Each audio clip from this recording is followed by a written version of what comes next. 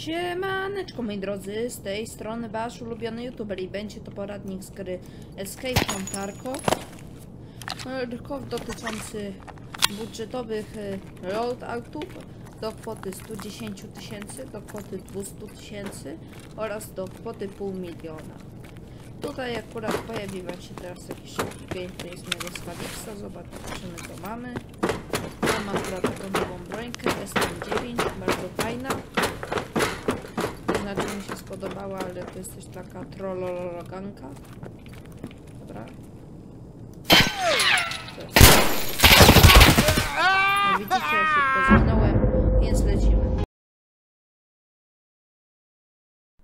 Więc naszym pierwszym buildem, loadoutem, będzie loadout do kwoty 110 tysięcy rubli. Zawieramy tutaj akurat AK-74, które jest w miarę fajnie zmodowane sławki GSSH, takie cygańskie, najle najlepsze, balaklawę oraz armor, e, Dragon Armor, Armor Rig oraz Duffelbag. Do ceny nie doliczam oczywiście amunicji oraz medykamentów, ponieważ byłoby to lekko nie fair. No. Osobiście polecam kupić salewę oraz hemostat. Będzie najlepiej. Do tego jako amunicję z okazji, iż niektórzy że mają mało pieniędzy, to polecam amunicję BT. Kosztuje ona gdzieś około tak 180 rubli, więc to jest jedna z takich tańszych, lepszych amunicji. Pokażę akurat jak się kontroluje recoil tej broni. Tak Full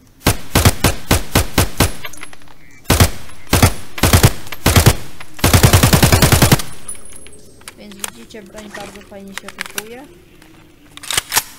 Teraz tappingiem.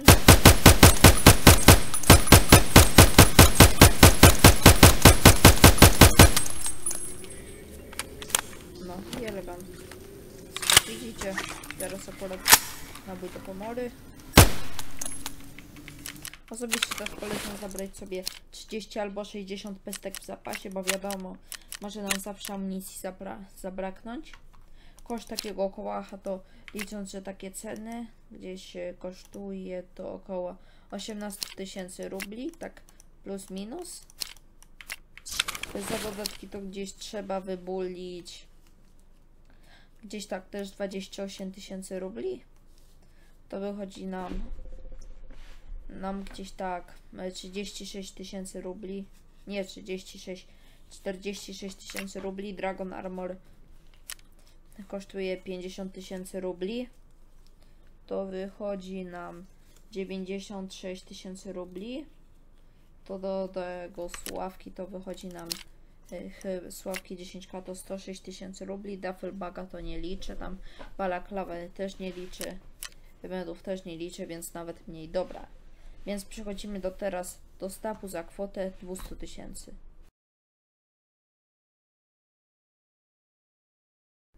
I tak wygląda oto nasz loadout do kwoty 200 tysięcy rubli. Zamiast Dragon Armora mamy armor piątej klasy, bardzo fajny, Koront VM, który powinien nas ochronić przed kilkoma strzałami z M62, też kilkoma strzałami z M80 i gdzieś tak z dwoma, trzema strzałami przed M61. Armor kosztuje 100k u prapora, ale trzeba mieć trzeci level. E, czwarty, czyli level królewski, bo niestety coś tam pozmieniali i teraz nie można iść na takim levelu. Dodaliśmy tekę z kwast helmet, e, replika. Bierze się go głównie dlatego, żeby po prostu mógł nasz rykoszet uratować. Waży mało, czym po, bo mniej niż pół kilo kosztuje około gdzieś tak 10-15 tysięcy. Teraz jest akurat wyż. Uratował mnie raz na przykład od z M62, więc gorąco polecam. Jako rig zabieramy ten rig snajperski. UMB, UMTBS Scout Sniper. Bardzo fajny rig, polecam go. Y, plecak dajemy większy, Scav Backpack, taki tani, ile on kosztuje? 19 tysięcy. A w kałachu zmieniliśmy kilka rzeczy. Daliśmy AK-12, żebyśmy mieli trochę więcej ergo. Daliśmy tutaj B10 od Zenita oraz RK4 chwyt. Mamy teraz mniej recoila. Zobaczymy teraz jak to strzela.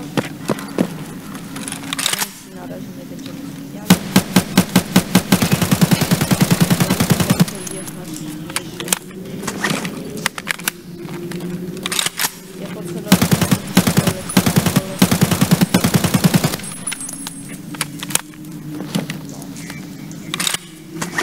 Fajnie tak, tak wygląda akurat. O, Wszystko trafia elegancko. Możemy oczywiście dołożyć teraz, skoro jeszcze nam zostało kilka tysięcy painkillersy. I mamy idealny zestawek. Zestaw. Więc przechodzimy teraz do zestawu do kwoty 300 tysięcy.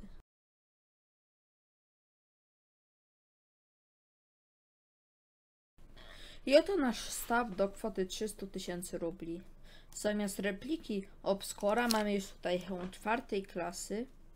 Dokładnie jest to hełm TC800 MSC Gallet e, oraz wizor klasy drugiej. Wizor powinien nas ochronić przed skawami 7 mm backshot, pistoleciarzami z PST-GZH albo z pistoleciami z makaronami. Hehehe. Do tego mamy nadal Korunda, dwa magazynki oraz Adara. Adar jest to bardzo fajna broń. Bardzo mnie akurat lubię. To jest e, e, e, bullet pod lekko pod ergo, lekko pod recoil. Taki w miarę zrównoważony. Jako amunicję polecam wybrać M856A1. Bardzo fajnie na 4 hity za dwie typów z na 8 typów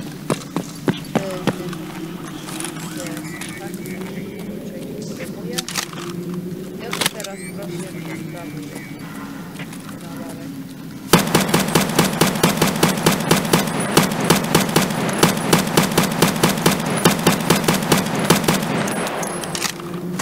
Bardzo fajny mały liko i taki przyjazny.